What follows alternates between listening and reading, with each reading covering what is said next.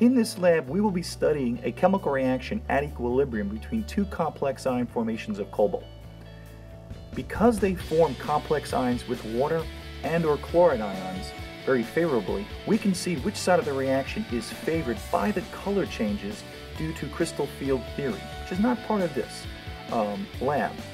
But we're going to be studying Le Chatelier's principle and noticing at equilibrium, if a stress is made, let's say a stress is made that forces the reaction to go thermodynamically to the right, we should be able to see a nice blue color because the reactants get used up and we'll make more products, which will be, of course, that complex with the chloride ion as chloride ion with that ligand.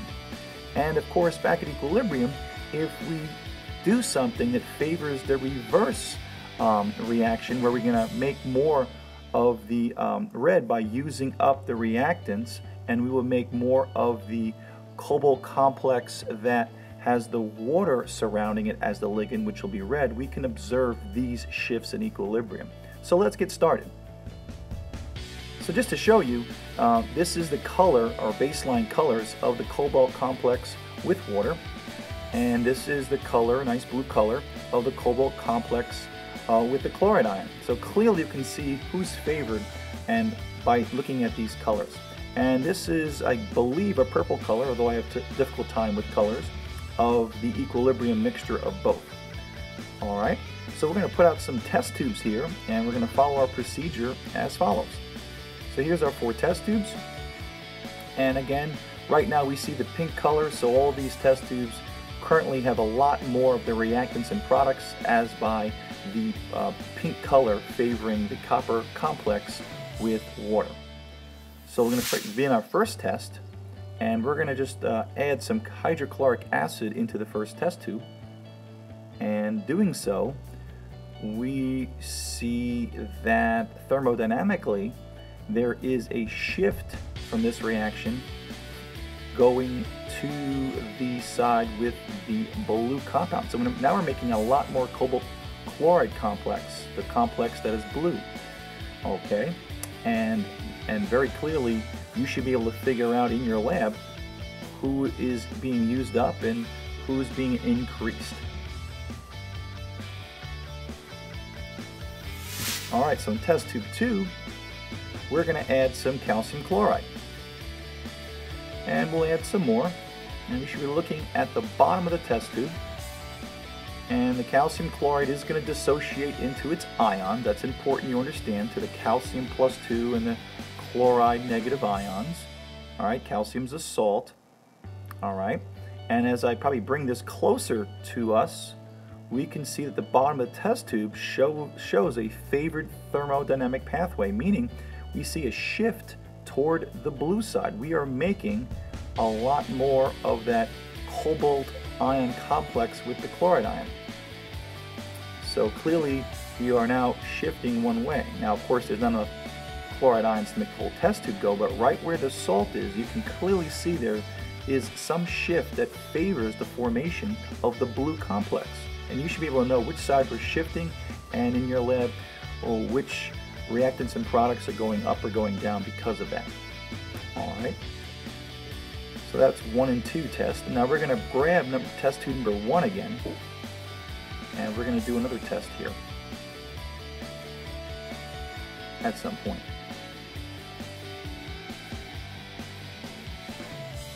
Alright, so here comes test tube 1 again, which we can see is clearly favored, alright, with uh, the blue compound. Alright, and now we're going to add some water.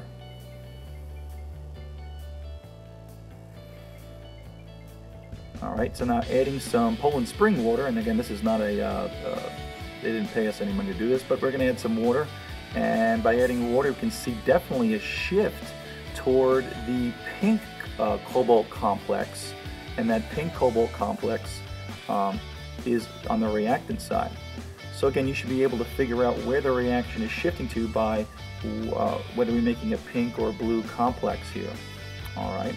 And again, these colors are due to crystal field theory where we're drawing in the ligands okay, into the D's orbitals and causing the D's to split. Pretty cool stuff to go through. So test tube 3 here, Okay, we're going to add hydrochloric acid, which we've done already before, and we're going to see a shift um, to, that favors um, the cobalt chloride complex, and you should know what that shift does. And now, part of the same test now is we're going to add some silver nitrate. Notice the silver nitrate bottle, when it comes into play here, has a, is a um, dark bottle that prevents uh, light from getting in too much because the silver ions are affected by the light. In any case, you see me adding some silver nitrate and clearly I see some solid developing as we like to call a precipitate. And that precipitate is building up as I add more silver nitrate and I also see a color change here. Okay, as I keep adding more silver nitrate, I see it going from this blue complex back to the pink side. So I definitely see a pink color developing here as we add some silver nitrate. So I'm probably going to bring this up to you and see up close and personal what this looks like. And there she is.